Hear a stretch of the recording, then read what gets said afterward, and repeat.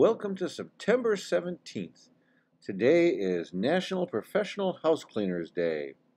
It's estimated that in the next few years, 8 out of 10 dual income homes will be needing to have someone come help them with their cleaning needs.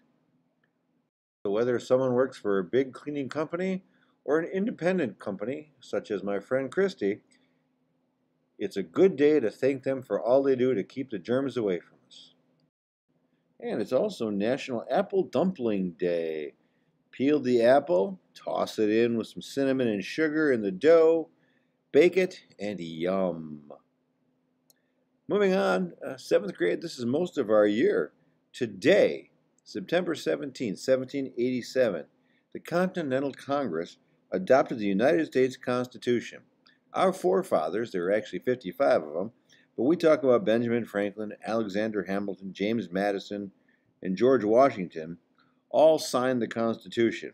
Madison is by many considered the father of the Constitution. It created the framework of the government that we have today. Married to the Constitution Day is Citizenship Day. In 1940, Franklin D. Roosevelt proclaimed I Am an American Day. Later in 1952, it was changed to Citizenship Day, and we honor all those that came to our country and became legal U.S. citizens. Last up today, because what kind of a day would be without more food, it is Monte Cristo Day. The Monte Cristo is a French sandwich that is a toasted ham and cheese that is oftentimes coated with an egg and fried up uh, sometimes with uh, some jam and some powdered sugar as well. Moving on to today in history, as I already mentioned, today being Constitution Day, the Constitution was signed in Philadelphia. It wouldn't be long after that Delaware, the first state, would ratify it, followed by eight others, making nine of 13 colonies, and away we went with the Constitution. In 1849, Harriet Tubman made her first escape from slavery. She was in Maryland, and she traveled with two of her brothers to get north. In 1862, the Civil War was well underway when the bloodiest single day of the war took place at Sharpsburg, Maryland, the Battle of Antietam, where between 22 and 23,000 men lost their lives as General George McClellan for the North and Robert E. Lee for the South squared off. Uh, it was so bad that the area uh, where the men met was called Bloody Lane.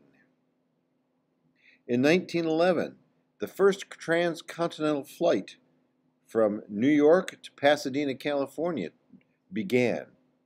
It would go from today, September 17th, till November 5th to make the flight. Overall, just over eight hours in the air. 1916 saw Baron Manfred von Richthofen, also known as the Red Baron, take his first combat flight for Germany over France.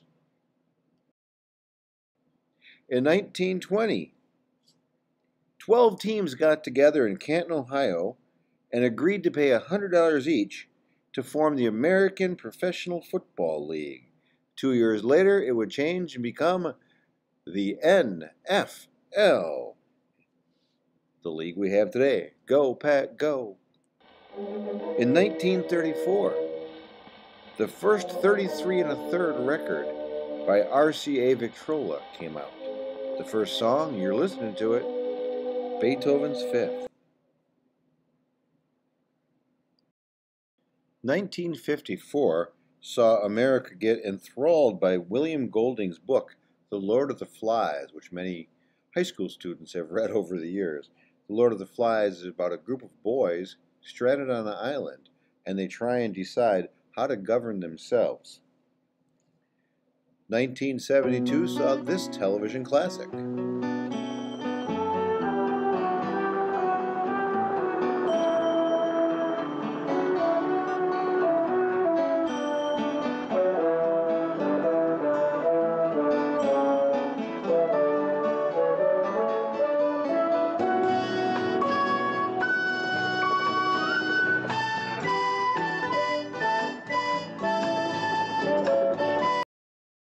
And in 2019, America welcomed Greta Thunberg to the US Congress to talk about climate change. People in general don't seem to be very aware of Mm. the actual science and the how severe this crisis actually is. So I just think we need to inform them and start treating this crisis like like the existential emergency it is. Then I think people will understand and want to do something about it. Birthdays today, we'll start with Frederick Wilhelm von Steuben. Von Steuben was a helper to George Washington. He came from Prussia, and at Valley Forge, he helped teach the American colonists how to actually fight like soldiers. In 1923, Hank Williams, you're hearing him now sing to you. Happy birthday, Hank. On this date in 1949, Looney Tunes created the Road Runner. And last but not least, in 1995 Super Bowl MVP, Patrick Mahomes was born. Well, gang, once again, we've reached the end. You know the drill. Repeat after me. Everybody, be kind. See you tomorrow. Come along